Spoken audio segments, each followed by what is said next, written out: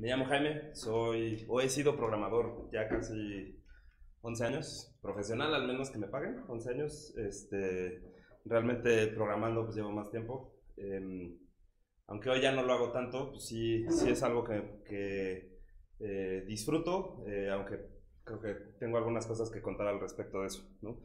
Em,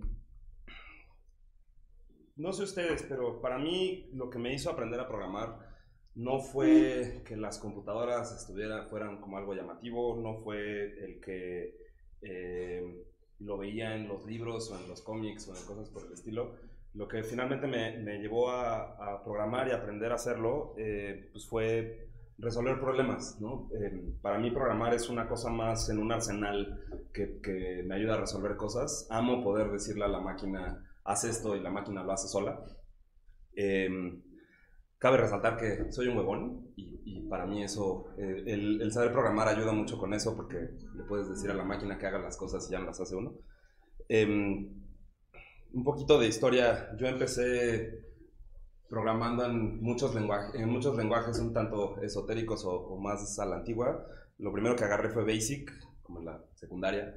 Eh, eventualmente aprendí un poquito de C. Eh, en la universidad intentaron enseñarme Fortran por alguna razón. Eh, pero realmente el primer lenguaje que me siento cómodo diciendo que sí aprendí que sí, y que sí usé profesionalmente, y por favor no se burlen mucho, pues fue PHP. Eh, en PHP trabajé dos años, dos años y medio. Eh, empecé mi primer negocio con, con, mi mejor amigo haciendo eso.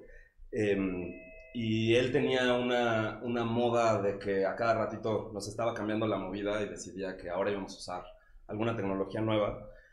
Y pues tal cual, ¿no? De repente un día él me dijo así como, eh, ¿sabes qué? Ruby pues, está de huevos, ¿por qué no lo empezamos a usar? Y sin decirme, sin, sin avisarme, sin nada, este, a la mañana siguiente o a los cuantos días, el proyecto en el que estábamos trabajando, oh sorpresa, ya estaba todo en Ruby, entonces chin, aprende Ruby. Eh, me duele mucho decirlo, pero, pero pues, cuando me dijo que, que, me iba a gustar, eh, tenía razón. Eh, algo que, que, me quedó muy claro desde el primer día que empecé a usar Ruby es que, es que Ruby está hecho para, para que nosotros como programadores tengamos una vida más fácil. Ha sido bien extraño eh, tanto aprender Ruby yo como enseñárselo a otras personas y, y, ir viendo cómo le encuentro la paralela con cuando ves a una persona que siempre ha usado Windows usar Mac por primera vez, ¿no? Entonces es como, ¿y cómo borras una aplicación? Y es, no manches, ¿en serio solo la arrastras al, a la basurita? Eh, y con Ruby pasa mucho lo mismo, ¿no? Eh, eh, siempre que que cuando estaba yo aprendiendo eso y, y, iba yo preguntándome, oye, pues en PHP, ¿cómo, cómo traduce de esta función a esta otra? Pues la primera cosa que se, te, que se me ocurría era tal cual eso. Eh, y esto es porque Ruby se dedica a, a, darte interfaces simples para cosas muy complejas, ¿no? Y, y es, es, uno de los principios en los que, en los que se basó Max para, para diseñar Ruby, el que él quería que fuera algo que te causara... Eh, placer, ¿no? Que, que, te sintieras bonito programando y pues eso no es, no es, no es muy común. Y creo que este asunto de, de hacer algo simple eh, es algo muy difícil y es algo que tal vez deberíamos de apuntar todos nosotros hacia nuestros usuarios, ¿no? El que, el que pues, buena parte de nuestro trabajo tiene que ser esconder toda la complejidad que, con la que lidiamos nosotros como los programadores eh, y que nuestros usuarios realmente solo se topen con interfaces simples. Las interfaces simples no quieren decir que solo puedas hacer cosas muy sencillas, debes de poder hacer cosas complicadas, pero no te, no te deberías de tener que dar de topes con, con la computadora para poder lograr hacer ese, ese tipo de cosas. Eh, entonces, ¿qué me gusta de Ruby? Para empezar, es súper legible. Eh, la primera vez que me tocó hacer, no sé, un iterador y que, y que dices, oye, ¿cómo hago que esta cosa se repita tres veces? Lo primero que, si sabes inglés, y, y, lo primero que dices es, bueno, pues igual usaría, eh, o sea, yo diría algo times le estoy dando y, y pues, dónde va siendo tu sorpresa que tal cual es lo que, es lo que usas en Ruby, ¿no? Eh, hoy ya no suena tanto, ya no suenan tanto ciertas cosas de estas porque ya hay otros lenguajes que, que la tienen muy similar o que, o que se lo copiaron tal cual, eh, pero cosas como eh, ¿cómo accedes al primer elemento de un array? Ah, pues first, ¿no? Y si usas active support, pues el second y el third y el fourth y el no sé cuántos más. Em, y eso es algo como súper importante. Cuando, cuando estás hablando con gente que tal vez no es programadora, pero que sí le tienes que enseñar o explicar un problema técnico, el que el código sea súper legible es algo bien importante, ¿no? Em, me gusta mucho esta frase, creo que de Richard Feynman, que decía que si tú no le puedes explicar algo a un niño de 5 años, es que realmente no lo comprendes. Y si lleváramos eso al ramo de la programación, pues yo lo, yo lo diría pues, tal vez algo así, ¿no? Y tal vez diciendo algo como, si, si tu código no lo puede leer un programador junior, pues igual y se lo puedes mejorar, ¿no? Tu, tu código debería de ser legible. Y, y, y Ruby tiene esta ventaja de que, de que aunque no conozca Ruby, no es tan complicado entender la sintaxis, entender lo, lo, que está haciendo. A fin de cuentas, los lenguajes de programación están hechos para nosotros los humanos. Si lo único que estuviéramos buscando es que la máquina haga las cosas mejor o las haga más rápido, eh, pues podríamos programar todos en cosas super low level y, los programas correrían más rápido probablemente. Los, lenguajes de programación son para nosotros. Eh, ahora, les, les pongo una pregunta como, como para que la mediten. Eh, el código que escriben todos los días lo podría entender cualquier programador. ¿no? Eh, ¿Qué tal alguien que no programa en el mismo lenguaje que usas tú? Esto es algo que al menos en mi experiencia es más fácil si usa Ruby, es más probable que digas que sí, aunque también hay código muy feo. Eh, y también, pues, si, si, estas dos preguntas son, son algo que cómodamente dices, sí, a huevo, cualquier programador puede entender lo que, lo que yo escribo, suena como, como alguien con quien me gustaría trabajar. Eh, pero ahora, ¿qué tal alguien que no sabe programar? Alguien que no sabe programar podría, podría leer lo que, lo que trabajaste hoy y entenderlo, o que le des una breve explicación y ya sepa realmente qué es lo que está haciendo eh, tu programa. Eh, creo que esa es una barra mucho más alta, ¿no? Y esa es una barra en, eh, eh, que Ruby se preocupa mucho por lograr alcanzar, ¿no? Yo he tenido un tanto de experiencia enseñándole justo a gente que no sabe programar lo que hace un programa, ¿no? Y pues, hay otros lenguajes que son fáciles de leer. Para mí Ruby es el, el gold standard, ¿no? El, el, la cosa que, que, más fácilmente puedes poner enfrente en una presentación y que, ahora, más o menos sé por dónde va. Eh, ¿Qué otras cosas me gustan de Ruby? La, la comunidad es increíble, ¿no?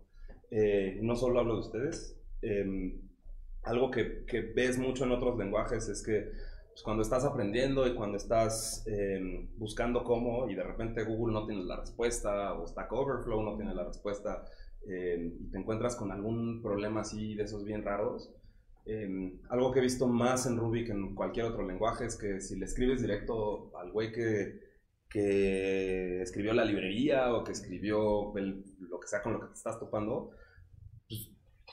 la mayoría de las veces te contestan. Y te contestan de buena gana y, y, si no necesariamente te dan la respuesta, porque luego es mucho pancho para esa gente como que estar contestando todos los correos, pues por lo menos te apuntan en la dirección correcta. Eh, aunque tenemos aquí un par de colados de la, de la comunidad de JavaScript, este, eh, ¿cuántas veces no, no, a mí al menos me ha pasado con otras comunidades, no necesariamente son ustedes, eh, el que escribes, oye, es que no sé cómo hacer esto. Ah, no mames, es que el pedo es que no sabes programar, ¿no? Eres, un pinche noob, ¿no? Este, o ¿por qué no usaste Node? O sea, eh, y, creo que en Ruby en particular, como que el que hasta tengamos el acrónimo, ¿no? Tenemos esta cosa del, del Minas One y que sale de que eh, pues Mats, que escribió, este, que escribió este, este lenguaje, que lo sigue liderando, pues es un güey súper buen pedo, ¿no?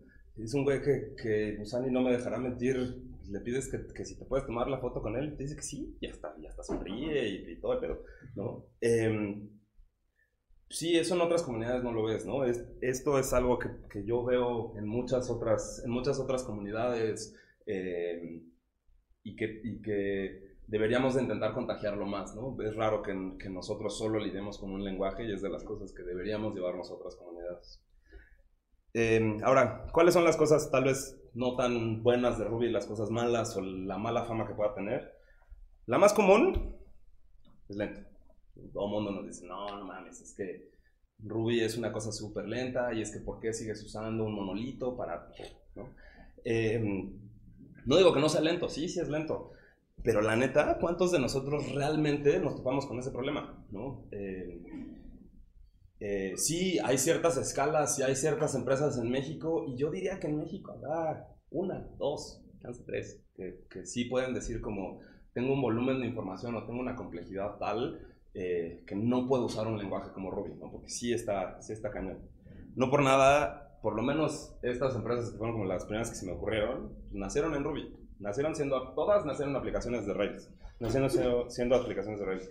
Eh, GitHub y Shopify siguen siendo aplicaciones gigantescas de Rails. Eh, Airbnb todavía tiene muchísimo código de producción en Ruby.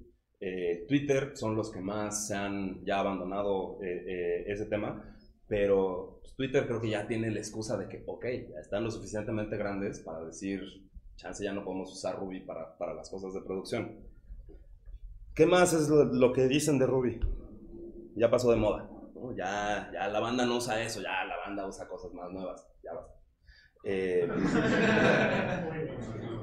para mí eso es para mí eso es más un pro que un contra. Em, eso habla de que el lenguaje es maduro, ¿no? El lenguaje cumplió que 30 años, 25 años, no sé cuántos.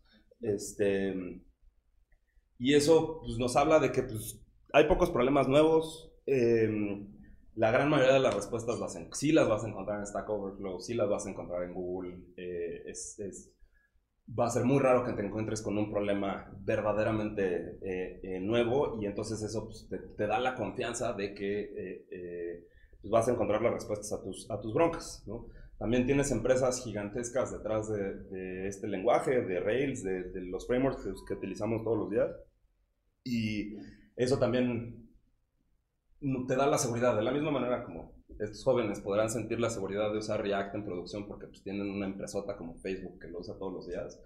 Yo me siento confiado de que, de que los ingenieros en el Conta usan, usan Rails porque pues, ahí está Basecamp, ahí está GitHub, ahí está... O sea, si ellos lo usan, que nosotros no lo podemos usar, no manches. Eh, y por ahí también va el que pues muchas personas de la comunidad de Ruby, pues sí, ya se aburrieron de Ruby, llevan haciendo Ruby 10 años, 15 años, 20 años, ya se empezaron a mover otros lenguajes y eso se empieza a ver bien cañón en los otros lenguajes, ¿no? Tienes un Elixir que básicamente es, Erlang disfrazado de Ruby. Em, tienes JavaScript que ya le copió muchas cosas al lenguaje y es bueno, ¿no? O sea, y, eso lo hace más accesible y si mañana quieres empezar a, aprender otro lenguaje, eh, pues nosotros como rubistas tenemos esas ventajas de que ya nos copiaron un chorro de cosas. Em, pero llegamos a, a, bueno, ¿Es acaso Ruby la solución, la, lo, mero bueno? Ups. ¿Sabes? Em, no, hay una, no, hay una solución, no hay una sola solución. Em, siempre es bueno estar aprendiendo otras cosas y pues, hay lenguajes para todo. Tal vez si estás lidiando con miles de archivos, pues, probablemente te, te, te beneficiaría usar Bash. ¿no? Si quieres algo multithreaded y que aguante putazos y que no se caiga y tal, pues sí, Erlang o Elixir. Eh, si quieres lidiar en front, por más que me duela, pues sí, JavaScript. Eh, entonces, como que la recomendación general es no te quedes solo con una cosa. Es bien peligroso solo tener un martillo en tu arsenal porque entonces a todo le des cara de clavo. Eh, y me ha tocado con los programadores que trabajan conmigo y con otros programadores que conozco, el que, bueno, pues esta es la única herramienta que conozco, entonces con esta voy a resolver todos los problemas que, que se me vengan enfrente. Eh, y pues no, no, así no avanzamos, ¿no? Y así llegamos a, a, estos puntos de pelearnos de si un lenguaje es mejor que otro, tal. Todos tienen su lugar, todos tienen eh, eh, cabida y si de repente queremos hacer experimentos en otras cosas, siempre es bueno. Em, ya para acabar, em, yo ya no soy programador, realmente. Eh, me dediqué hace mucho tiempo, pero hoy no me dejarán mentir los paleros que traje. Eh, que, que, ya no, que ya no programo en mi día a día, ya ni, chinga, ya ni les reviso el código casi. Em, pero ¿por qué cuando, cuando sí tengo que hacer algo de programación, por qué lo hago en Ruby? Eh, pues para empezar porque si se lo tengo que explicar a alguien que no sea programador, eh, pues no, no tengo pedos en enseñárselo, ¿no? Lo, va a poder, lo va a poder entender, va a ser algo que van a poder creo muy, muy rápido. Eh, si, si, tengo algún problema y no encuentro eh, y, no sé cómo avanzar, pues voy a encontrar la respuesta en Google, va a salir rápido. Eh, la comunidad es increíble, ¿no? Si sí no encontraste el, problema, pues le escribes al güey encargado y te va a decir, ah, pues estás bien, güey, va por acá. Eh, pero lo va a hacer en bonito, no como yo. Eh, finalmente, pues porque como yo ya tengo un tanto de experiencia en esto, pues es en lo que más rápido puedo sacar las cosas, ¿no? Y en especial si son cosas facilitas o si son, o sea, ya el tipo de scriptitos que me toca hacer hoy en día, eh, pues es en lo que lo puedo sacar en dos patadas. Y ya si se necesita hacer para una versión de producción o para algo que ya se va a usar en serio, pues ya se lo aviento a los que sí saben y, lo, pueden pulir y le pueden poner test y le pueden hacer lo, que sea. Em, y, por último, porque si no les puedo, eh, aunque sea muy de repente ya contestar las cosas a mis ingenieros que, que, me preguntan de repente, a veces, de Ruby, eh, Lucero me pega. Em, porque, porque pues sí, quieran o no, yo los contraté, yo los, yo los encontré y, y, hoy el equipo sigue, sigue usando Ruby. A mí me encanta que usen Ruby, me encanta que usen Rails, porque pues de repente todavía siento como que les puedo ayudar un poquito. Y ya, muchas gracias.